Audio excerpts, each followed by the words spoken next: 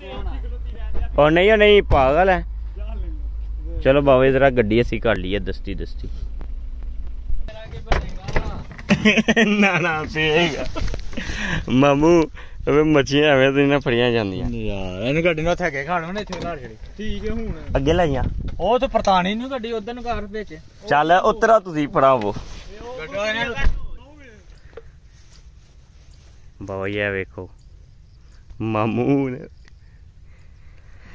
ਆ ਚੱਲ ਯਾਰ ਆਇਆ ਰੀਲ ਕਰ ਛੜੇ ਸਵੇਰੇ ਸਵੇਰੇ ਮੱਛੀ ਨਾ ਨਾ ਲੱਗੀ ਤੇ ਚਾਚੂ ਨੂੰ ਚੁੱਕ ਕੇ ਭੇਜ ਦੂਗਾ ਚਾਚੂ ਇੱਧਰ ਨੂੰ ਹੀ ਪਾਇਆ ਸਾਨੂੰ ਦਾ ਚੰਗੀ। ਬਾਬਾ ਜੀ ਕਿੱਥੋਂ ਫੜਨੀਆਂ ਨੇ ਮੱਛੀਆਂ? ਉਹ ਜਿੱਥੇ ਚਿੱਟੀ ਚਿੱਟੀ ਕਾਈ ਹੈ ਉਹ ਉਥੇ।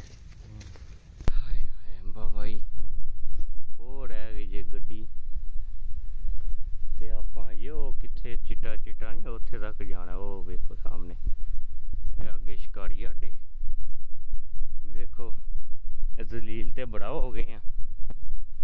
ਮੱਛੀਆਂ ਵੀ ਬਣਾਉਂਦੇ ਆ।